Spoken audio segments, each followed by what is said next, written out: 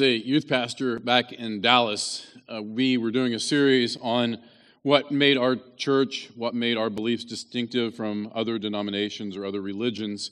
And so, one of the things to make the series more engaging to the students, uh, me and a couple guys from the youth ministry, we went out to some different churches and different places and shot video uh, to be used during the talks uh, to kind of illustrate what made our belief distinctive and why it's different from these other groups. And one week we went to a Catholic church to visit because we wanted to find out about communion. We wanted to find out because we knew that uh, Catholics ascribe to a belief that the uh, the wafer, the, the bread, the wine actually turns into, becomes literally the body and blood of Christ. And our church and Protestant churches don't believe that. It's symbolic of Jesus' body and his blood. And so it was interesting. We went, and the first time I'd ever, I'd ever been to a Mass, and it was definitely different than any church service that I had been to before. But one thing that stood out to me, even though I strongly believe that uh, Scripture clearly teaches that the, the bread and the wine don't turn into the actual body and blood of Christ, and probably most of you don't either. And if you have questions about that, we won't get into that today, but feel free to, to email me or come and see me. We can talk about that. But uh, one thing that did strike me was the high view that they had of communion compared to the churches that I grew up in. How seriously and how integral the communion service was as part of their service. And I think that maybe a lot of Protestant churches, because of some of those differences, we let the pendulum swing so far the other direction because we want to distance ourselves and we sometimes look at communion as kind of an afterthought or you know jesus told us to do it so we got to do it so we'll do it as sparingly as possible every quarter or whatever. And many times you know when you walk in and see communion you look at your watch and you're like oh it's going to be later getting out of here today. And we have a very very low view of communion. And so today we're going to skip ahead to 1 corinthians chapter 11 because of the nature of the topic of the subject we were going to deal with today that fell next. And then we'll return to that passage in chapter 10 um, next week but today we're going to look at communion. We're going to take a look at the Lord's Supper. And what I love about Scripture, and I say this a lot, is Scripture forces us, as we teach through Scripture, it forces us to deal extensively with some things that we may not spend 40 minutes on talking about communion. But I can assure you, as I got in and studied this passage of Scripture, this could be a three or four week series easily because there's so much um, great information and, and really challenging stuff here. And so I'm excited to be able to share this passage with you today. We're going to look at 1 Corinthians chapter 11. We're going to look from verse 17 through 34. But let me read verse 17 through 22, and then we'll pray, and then we'll jump into this. The Apostle Paul writes, inspired by the Holy Spirit, he says, But in the following, following instructions, I do not commend you, because when you come together, it is not for the better, but for the worse. For in the first place, when you come together as a church, I hear that there are divisions among you. And I believe it in part, for there must be fractions among you in order that those who are genuine among you may be recognized. When you come together, it is not the Lord's Supper that you eat. For in eating, each one goes ahead with his own meal. One goes hungry, another gets drunk. What? Do you not have houses to eat and drink in? Or do you despise the church of God and, you, and humiliate those who have nothing? What shall I say to you? Shall I commend you in this? No, I will not. Let's pray. Father God, we come to you humbly, admitting that apart from the, your Holy Spirit speaking through our hard hearts, through our carelessness and our casualness, about the way that oftentimes we treat you, that nothing spiritual will change in our life today, nothing uh, honest will happen in our lives and our hearts. But God, we know that your spirit longs to make these words of Scripture alive and true. And God, I pray that you will allow them to be, uh, to awaken our hearts spiritually. God, I pray for the kids in the room, God, that uh, today they might be able to stay engaged and stay focused. And thank you for them joining us here and help us as parents to uh, make sure we follow through and spend time with our kids individually and together, God, talking about your word and talking about what matters in life. We pray in Jesus' name, amen. As you look through the book of Acts in uh, the New Testament, the early church was pretty much an amazing sight to behold. Because what had happened was through the gospel, radical social implications occurred. In fact, that these things that separated people, things that divided people, the gospel tore down those barriers, those warring factions that existed in the world. The gospel came alive in people's lives, and those differences could be put aside. Paul said it great in Galatians chapter 3, verse 28, when he said that there's neither Jew nor Greek. That's super radical in itself. There's neither slave nor free. There's neither male nor female, for you are all one in Christ Jesus. And so Paul wasn't saying there's not different roles that we have in the church, there's not cultural distinctions that we should embrace. He's not saying that at all. What he's saying is that as Jesus followers, that's what I am before anything else. If you put your faith and trust in Jesus, your identity is in Jesus more than it is in being an American, more than it is in being a Democrat or Republican, more than it is being an Alabama football fan, even though I know it's tough for some of y'all. It's more than anything else in life, your identity should be first and foremost Jesus Christ.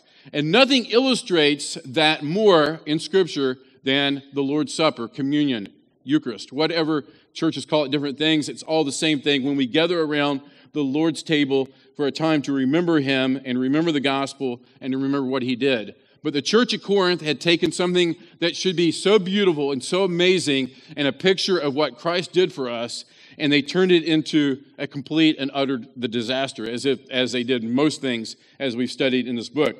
And look what he says. Paul says in verse 17, he says, he says, I can't commend you because when you come together, it's not for the better, but it's for the worse. So he says that the gathering of the believers obviously should be a time of encouragement, love, unity, fellowship, serving one another. But he says, this gathering, it's anything but that. It's toxic. It's detrimental to your relationship with Jesus. It's, if people see this happening in your church, they're, they're going to be repelled from Jesus, not drawn to Jesus. And so the body of Christ should be demonstrating who Jesus is, and rather the church at Corinth was doing just the opposite. And Paul says it's a disaster, it's toxic. But very interesting when he says in verse 19, and we're going to spend a bit of time on verse 19 because I think this is critical. What he says, he says, There must be factions among you in order that those who are genuine among you may be recognized. Do you get that? He says that these factions are actually can be a really good thing because it reveals who truly is following Jesus and who's not. Who's allowed the gospel to sink down deep into their heart and those who have not done that. And what is the gospel? The gospel is the radical grace of God. That even though we belittle God with our actions, with our thoughts, with our attitudes, with our words, even though we've brought down the glory of God through what we've done, that God came for us when we were undeserving. That God sent Jesus to pay for our sins and do what we could not do. And it's all grace and it's all mercy because we've done nothing at all to deserve this. And so these factions, these divisions, they show who really understands the gospel and those who either have a very casual relationship with the gospel or aren't believers in the first place. And so these factions revealed who was genuine, who was true. And, and practical, we know, practically, we know that's true. If you've been around church for a while, because it's full of people like you and me, there's going to be opportunities for arguments, fights, church splits, those type of things. And if you've been a part of that, it becomes clear who's being selfish and who, and, and who wants to live the gospel and show integrity and leadership. I remember one time I was part of a church that was going through a very tough time and there was all kinds of division in the church.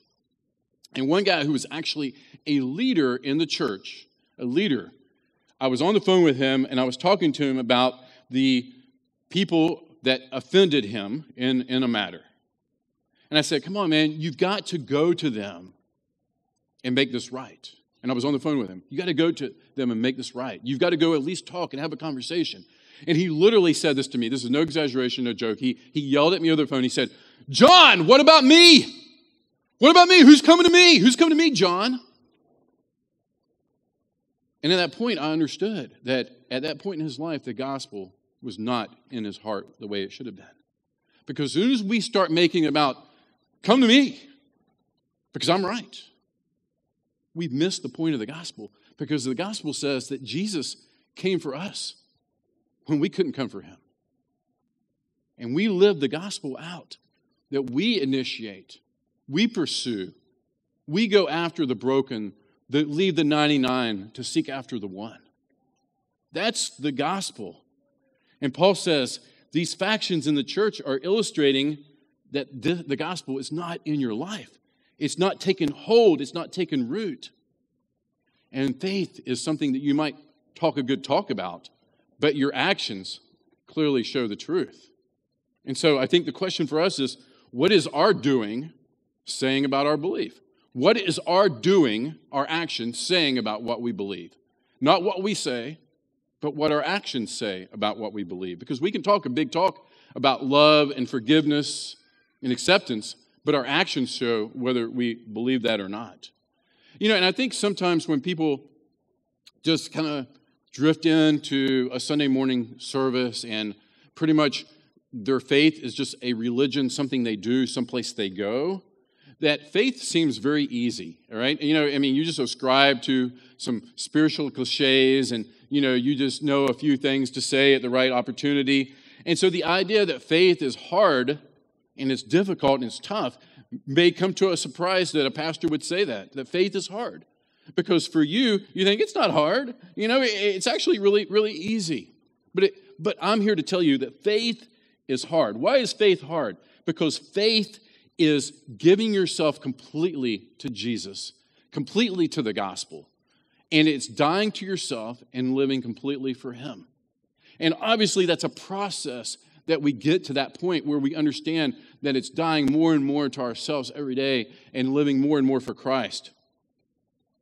But when we begin to truly trust the gospel, we trust Jesus, it's radical and faith's hard. And look, all of us, all of us from time to time go through periods where we feel like God's a million miles away. We feel like our prayers are just bouncing off the ceiling.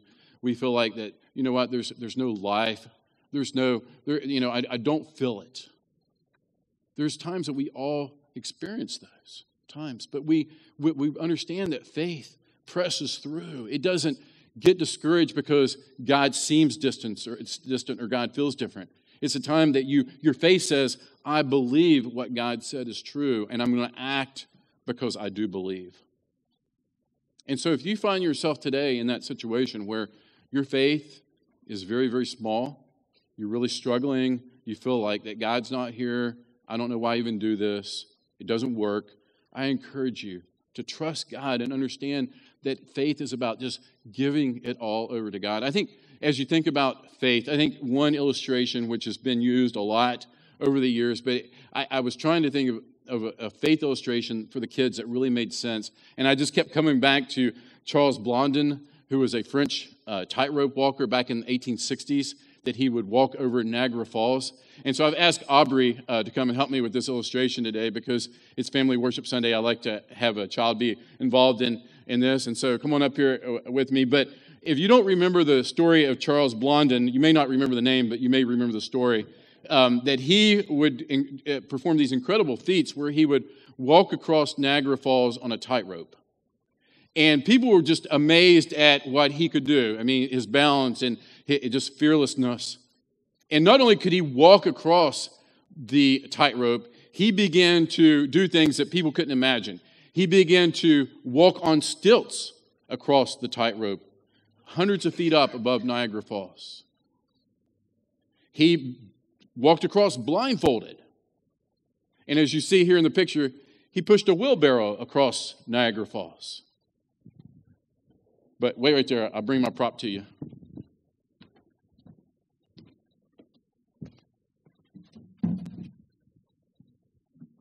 And as the crowd grew more and more confident in what he was doing, he would ask him, Do you really think I can do this? Do you think I can push this across? Do you think I can go blindfolded? And the crowd responded, their, their confidence was high. Uh, yes, we've seen you do it. It's amazing.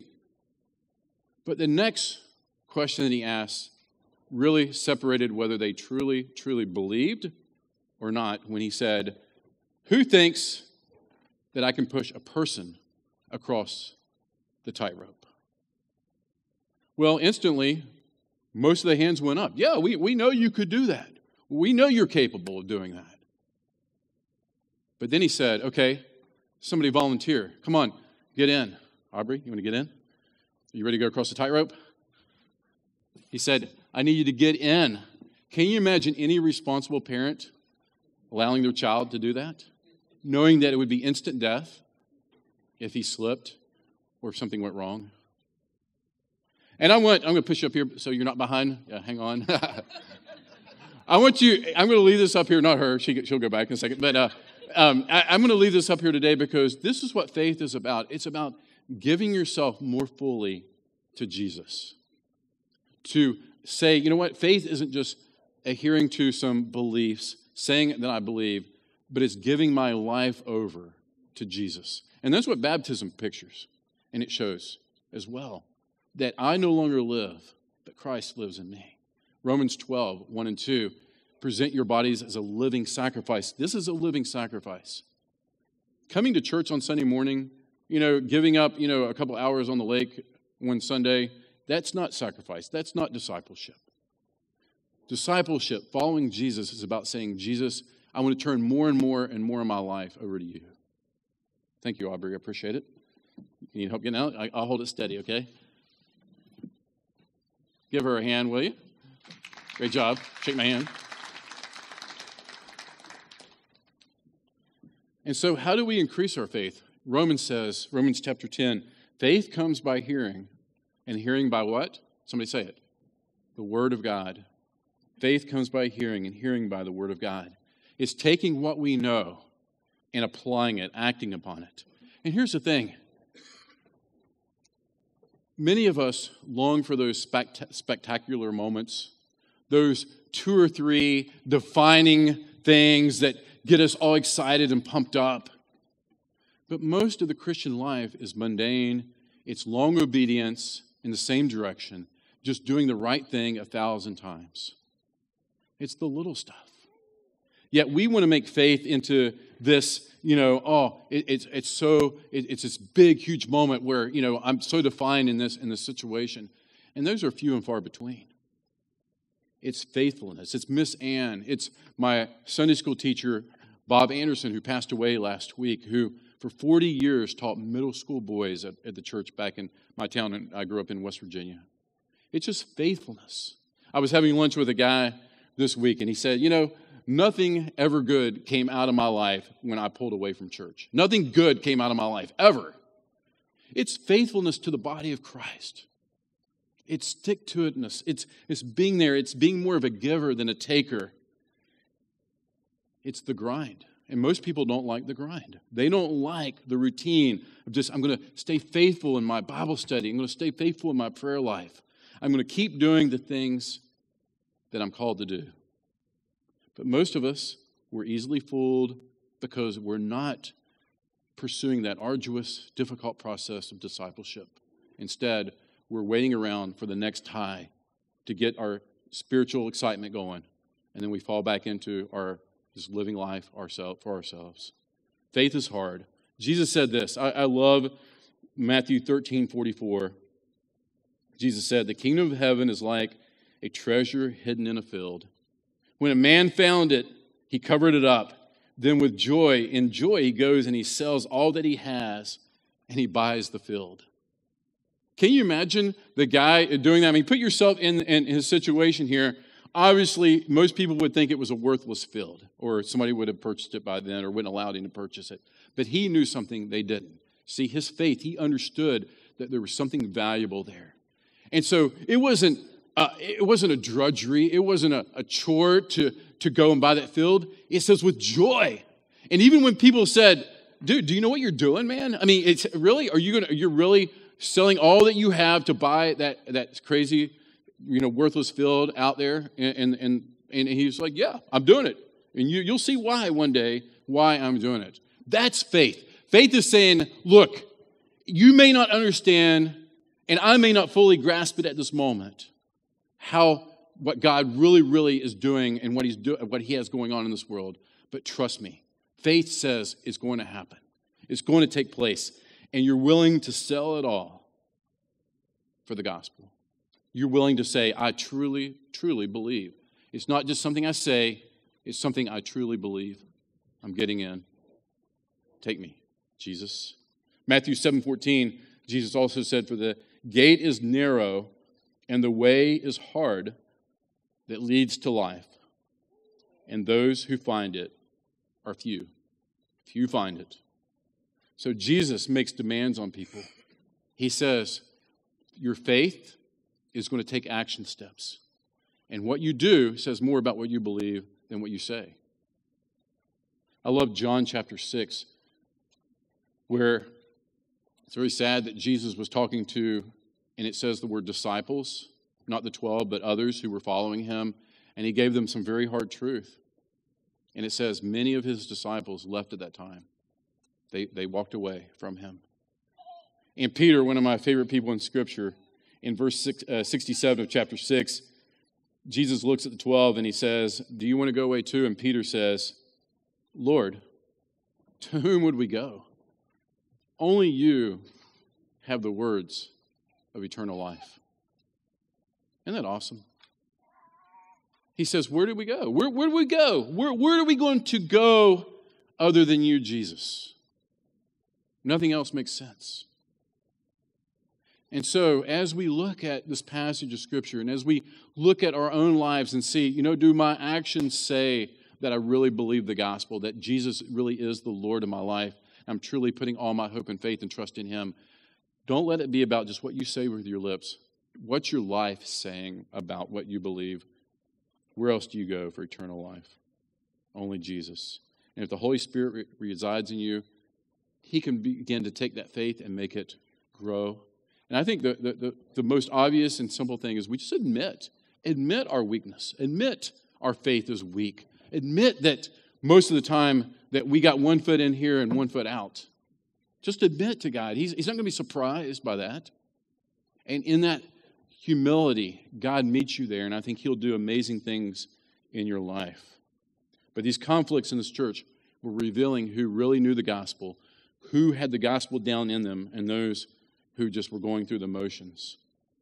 And look what verse 20 says. It says that they thought they were doing the right thing, but they weren't even taking the Lord's Supper. They may have been going through the motions, but they weren't taking the Lord's Supper. Look, verse 20. When you come together, it is not the Lord's Supper that you eat. You may be taking the bread you may be taking the wine, but it's not the Lord's Supper you're eating. Because in eating, each one goes ahead with his own meal. They're not waiting on anybody, they're just selfishly going and getting drunk and, and Paul just chastises them and says, How can this be? This is not the gospel. And in this early church time period, what would happen, they would get together for these meals, which would then eventually lead into communion to the Lord's Supper. And they would call these meals love feasts. And during these love feasts, um, they would um, all bring food, kind of like a potluck, and they would bring food to the, to the gathering and they would share. But what was happening is the rich people, the wealthy people, would get there early. They would bring, obviously, the most food, as they were the most able to do that. And they would begin eating. They would get the most comfortable spots in the house, and they would just, uh, just start going in at it and enjoying themselves. Well, the working class guy and the slave, obviously, they had to wait till after the day was over when their boss dismissed them from work. They would roll into the church body. But at this time, these guys either they were gone, they had taken off and eaten the majority of the most of the food, or they uh, were there and they treated them as second class citizens. You're in there, we're over here. And so there was all this division that was happening. And some had plenty to eat and some had nothing. And so Paul says there's these classes, there's these divisions. And as we said, there should be none of that in the church. Christ levels us all. The gospel levels us. It says that nobody deserves anything, nobody is better than anyone else. And it doesn't matter if you come from a wealthy family or if you're a slave. In Christ's eyes, you're all the same. Yet there was this greediness and the selfishness that was existing in this church, and it was an embarrassment to the kingdom. You know, and, and we have to step back and say, how do we do that? How do we treat people in the same manner? Maybe it's not as obvious, but how do we do that? When I was a kid, our churches would um, have a bus ministry. You may have been a part when you were uh, younger of a church that had a bus ministry. And the church would bus in kids from very, very tough families, rural areas. And, uh, and, and, so these kids were in, uh, five or six of them were in a Sunday school class around Christmas time that I was in. And we were sitting behind some tables, and the teacher was in front of the tables. And in that day, she had brought all these great Christmas presents in for us to have. And we were behind the tables, and she said, Okay, just in a minute, I'm going to say, Okay, you know, you can come get a gift, and you just pick one gift out, and that'll be your Christmas gift from me. Well, I had my eye on the biggest box on the table, plain and simple. I, I mean, that's the one I wanted because it was big, it had to be the nicest, okay? And so I had to figure out because I was kind of in the middle here in these tables, and people were sitting on the side of me. It's like, I got to get there first. And so I devised my plan that as soon as she said go, I would slide under the table, have a straight shot to the big gift, and take it. And that's what I did. Boom! I was there before anybody else, got the one that I wanted. Good for me. How do you do that? How do we do that in our lives? That we say, that's mine. I deserve it. Pride. I'm me. Why should I not have the best? And we step on people, we treat people with disrespect, we treat people as if they're not our equals because of our attitudes and our pride and our greediness. But God says in the church, this should not be so. And so he walks to and he reminds them of the true meaning of the Lord's Supper. He begins to tell them, here's what the Lord's Supper is all about. And so as you're taking this and coming together and getting drunk and acting all selfish and crazy, let me explain to you what Jesus, why he did this in the first place. Verse 23 through 25. He said, For I received from the Lord, Paul says, I received this from Jesus, what I also delivered to you, that the Lord Jesus, on the night when he was betrayed, he took bread. And when he had given thanks, he broke it and said, This is my body, which is for you. Do this in remembrance of me. And in the same way, he also took the cup after supper, saying, This cup is the new covenant in my blood. Do this as often as you drink it in remembrance of me. I'm going to give you five truths about communion. There could have been a lot more, had to stop at five. First, in remembering, we reattach ourselves to the story of the cross. We reattach ourselves to the story of the cross. Let me give you a little test here, all right? What is the opposite of remember? Just put, think of that in your mind. What's the opposite of remember? Okay? We think, when we use the word remember, we think, where did I put my keys? Oh, yeah, I remember they're in my black jacket pocket. Yes, I found them. We think of remember as recall. So we think of the opposite of remember as forget. But did you know that's not the case? Give you a little word study here for a second. No, you know what the opposite of remember is? Ready for this? Dismember. All right, not a pleasant word for a Sunday morning dismemberment, you know. You didn't know you'd be talking about that today. But the opposite of remember is dismember. And if you if you've been around church for a while and you remember the old King James Bible where it talked about our body parts and it called them members to present your members. So members are body parts in the original English language. Members are our, our, our body, our hands, our feet. And so to dismember means to take a body apart piece by piece. Obviously, if you watch a horror movie, you know that. Yeah, dismemberment. And so to remember means to take the body parts and fuse them back together again, to put them back together. So a, a doctor would attach a limb that had been chopped off, he would be remembering a dismembered limb. He'd be remembering it as he's putting it back. And so when we take communion, when Jesus said to remember, it's got this idea of more than just, oh, let me think about what he did on the cross but it's a, a, connection that takes place. It's reconnecting to Jesus, it's reconnecting to our purpose, it's reattaching ourselves to Jesus. So, we as the church are the hands and feet, the body of Christ. We serve Him, we do His work on this earth. But it's so easy to forget our purpose and to stray away from Him. And He says, I need you to remember. So He takes us and He reconnects us to himself and to his purposes in this world. And so communion has this uh, amazing and unique way of helping us to reconnect with Jesus. It re- reminds us of our purpose. It reminds us of the gospel. It reminds us of our own ability to stray away from why we were in Christ in the first place. And He reconnects us to Himself. He reconnects us to the event of the crucifixion, His agony, His pain, His suffering, His death. And as much as hum- humanly possible, we're connected to those events. And we remember the gospel. We remember our salvation. We remember that we were undeserving and what He did for us on the cross. And so it's taking our divided hearts and reconnecting them to Christ. Isn't that amazing word picture? And so as you take communion and you're called to remember, reconnect to Jesus, reconnect to the purpose that He's called you.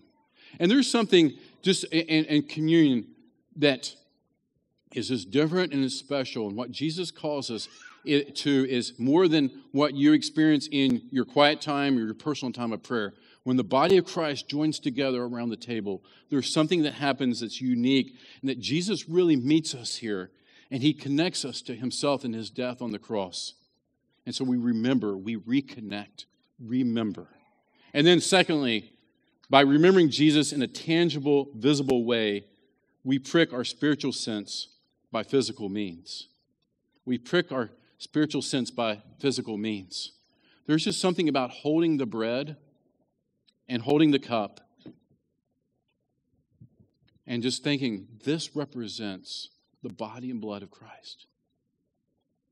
You know, I, I went to three church services a week for all my life growing up. And even though we only did communion once a quarter, I just remember even as a young child, there was just something special.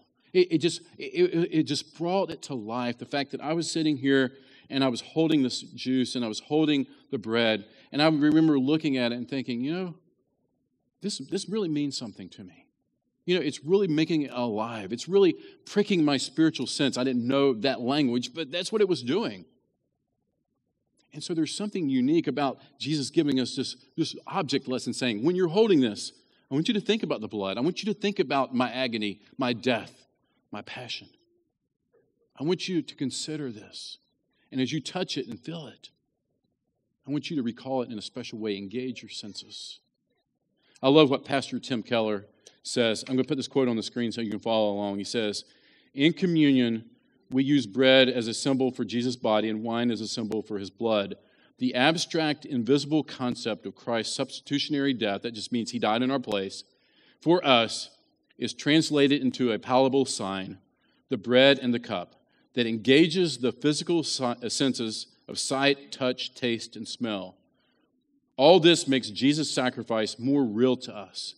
And at that moment, most participants find personal interaction with God is profoundly enhanced and facilitated. I can attest to that. I can believe that. It's true in my life. Number three, by remembering, we proclaim Jesus and the gospel. Verse 26 for as often as you eat this bread and drink this cup, you proclaim the Lord's death until he comes. So Paul says, we proclaim Jesus, we proclaim the gospel to ourselves, and our strength, our faith is strengthened during these times. And, and, and this, the action, he says, look at, look at the verse. He says, the action itself proclaims Jesus. The actual drinking and eating proclaims Jesus. And I think it's interesting. I was talking to Mitch about this this morning. Communion is the only time in the life of the church where we just don't say anything, you know? It's the one time where we have a moment of silence to really think and consider. And I was telling him, I think we need more of that because we hear talking, we hear, you know, noise all the time. And it's that time where we slow down and we listen. And our faith is strengthened during those times. Those who are weak in their faith, you, you, you're still and you, and you remember the tangible gift that Jesus gave us on the cross of salvation. Those who feel like you're strong in yourself, God reminds you of your dependency upon Him and how without Him you can do nothing. For those who are busy ignoring God, you're forced to slow down, to be still, and to listen rather than just hurrying from thing to thing, place to place, doing your thing. And so we proclaim Jesus to ourselves, but also the gospel proclaims is proclaimed to unbelievers. It's the time in the church life where we boldly say, look, if you're not a believer, don't take this. And so if you're a believer in here, it's a time to contemplate and say, whoa, hold on a second. It's that's, this, why am I not taking? What's going on here? What's this about? And you begin to think about your own life. And if you've truly given your life to Christ, if you've truly put your faith in Christ, if He's your Savior and your Lord, and at that moment, the Spirit forces you to contemplate and to think about your life and think about your salvation, the most important decision you'll ever make. And so, unfortunately, I think some churches shy away from the fact that they don't boldly proclaim, look, don't take it if you're not a believer. God instituted that for a reason. And He knew that there would be people who were seeking among the church. And so don't back away and say, oh, I don't want to offend anybody here. You know, I, don't want people to like to think we're exclusive. No, it's there for a reason. It's to proclaim Jesus and his death and the fact that there's something missing in your life. And so if you're here today and you're searching, you're seeking, you don't know Jesus, this is a time to consider why should I not take communion? I better not take communion because I'm not a follower of Jesus. I don't know Jesus. I've never put my faith and trust in him. And it's a time for the Holy Spirit to really, really work in your life. And then Paul comes back with a serious, stern warning, which is for Christians primarily. Look at verse 27 through 32. He says, Whoever therefore eats the bread or drinks the cup of the Lord in an unworthy manner will be guilty concerning the body and blood of the Lord. Let a person examine himself then, and so eat of the bread and drink of the cup. For anyone who eats and drinks without discerning the, the body eats and drinks judgment on himself. Verse 30 This is why many of you are weak and ill, and some have died. But if we are judge, or if, but if we judge ourselves truly, then we will not be judged. But when we are judged by the Lord, we are disciplined so that we may not be condemned along with the world. So he says, Look, you better take this time seriously. You better examine yourself. You better look at yourself and see what's going on. And, and look at this. This is amazing. All right, if you've been here doing this study of this book, this church has had so many issues. There's divisions, there's following different pastors, there's all kinds of sexual sins. This church is just off the rails. But what does he save the biggest condemnation for and the, the worst threat of judgment? He didn't say this stuff when he was talking about incest. He talks about it when he's talking about failing to wait for someone at the Lord's Supper, at the Lord's table. Doesn't that seem a little bit out of balance? Like it would have came with these warnings for these other serious sins, but he saved this up for the Lord's table, for the Lord's Supper. Why is that? Because it matters what happens here. This is not just a ritual and a formality we go through because we're supposed to do it and we just mindlessly go through it. Paul says this is serious business. And when Jesus had the Last Supper, which was a Passover meal with his disciples, and he in the Passover meal, they would be recalling their captivity in Egypt and how that God delivered them. And Jesus says, Look, I'm instituting something greater here. I'm, what's going to happen tonight and tomorrow? I'm going to show you that something amazing, that God's bringing in a new covenant with his people.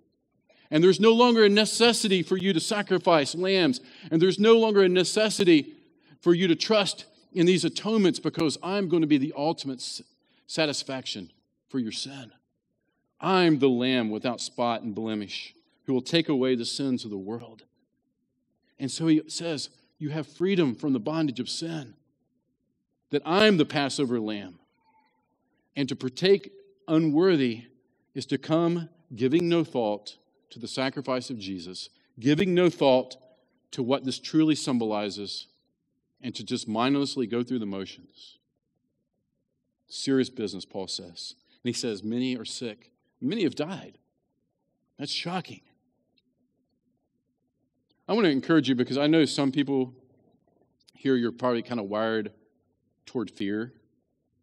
And so you hear a passage like this, like, whoa, I don't see myself ever being like wor- worthy of this. So I'm just never going to take it because I, I don't want that to happen to me. Look, he's not talking to you. He's not talking to those who understand their weakness and their battle with sin. He's talking to those who are unwilling to engage in that battle with sin. Those who can just come flippantly and mindlessly and carelessly say, uh, you know, is what I do on Sunday. I hope this makes me a better person this week. You know, maybe God will give me blessing because I took communion. I was at church and I took communion. Bless me, God. Make my week really, really good and easy. That's who he's referring to. People who don't truly reflect upon what this represents and the sacrifice that was made so that we could have freedom from sin. The ultimate Passover lamb, Jesus. And number five, by remembering, we bring unity to the body of Christ. Verse 33. So then, my brothers, when you come together to eat, I want you to wait for one another. If anyone is hungry, let him eat in his house. So when you come together, it will not be for judgment. He says, Look, this is not about you just filling up your stomach. This is about love, it's about unity, it's about togetherness for purpose. That's what the Lord's Supper shows. In fact, in, in chapter 10, back one chapter, he talks about the Lord's Supper and he gives a couple verses and he says, There's one loaf, verse, verse 17, put, uh, put it on the screen, because there is one bread, we who are many are one body, for we all partake of one bread. So he says, even the illustration of what they would have done would be to take a loaf and begin to break it up and pass out the pieces. He said, even this is symbolic of the fact that there's one bread, and so there's there, you are her one body. You're one in Christ. And so it's symbolic of the unity that we should have as a church. And he says just the opposite is taking place in your church. He said there's fightings, there's visions, there's seeing who can get to the table the first and get the most food. But he said the opposite is true. You're missing it all. You're missing it all. And so for us, what does that mean? That means that we take this time to think about the body, this body of Christ, this church community. And you reflect on literally who are you at odds with? Who do you have bitterness toward? Who are you refusing to even engage in a handshake or a hello because of something they've done to you or said to you over the years? Or maybe you just don't like them. And so you just avoid them. And you have bad thoughts about that person. This is the time to confess that to God. Because it's bigger than you and your problems, and I was offended, and he hurt my feelings. It's, it's not about you, it's about the unity of the body to fulfill the purpose, what we're called to be the hands and feet of Christ. To serve this world, to show Jesus, to take the gospel, to disciple people. That's what God has called us to do. And when you're harboring ill feelings, when you've allowed seeds of bitterness to take control of your life, when you just have negative thoughts about somebody and you allow those to go unchecked, you're not remembering. You're not remembering. You're dismembering. You're dividing the body. So, taking action. Your doing shows what you believe. Your actions show your heart. You can say one thing, you can even go through the motions, but you're not doing the Lord's Supper. You're not doing communion because there's no communion there. So, Paul's challenge to the church at Corinth and to us is commit to reconciling, commit to a life of faith that says, imperfectly, I'm going to try through the power of the Holy Spirit and through His strength to give myself completely to Jesus and that's what I want to reconnect to today. I want to remember. I don't want to dismember. Let's pray. Father God, we thank you for your word that challenges us. God, I admit that when I thought about an entire message on communion, that I questioned your word. I questioned whether this was right. And God, I thank you that there is your word is wisdom, it's truth. It's so far beyond me, the messenger. God, it, you take it and you make it real and true in our lives through the Holy Spirit. And God, I pray for those who have, have, have disconnected. They're, they're disconnected from their purpose, they're disconnected from you. They haven't looked at your word in a week. They're just wandering through life aimlessly. God, may our recalling, our remembering this morning be a time for them to confess their inability in themselves to live out the truths of the gospel, to recommit, to reconnect to you, their Savior, and to take action and to reconcile with those who they have division with. God, I pray that you will be glorified in our lives, in our homes. And God, we just give ourselves to you as a living sacrifice.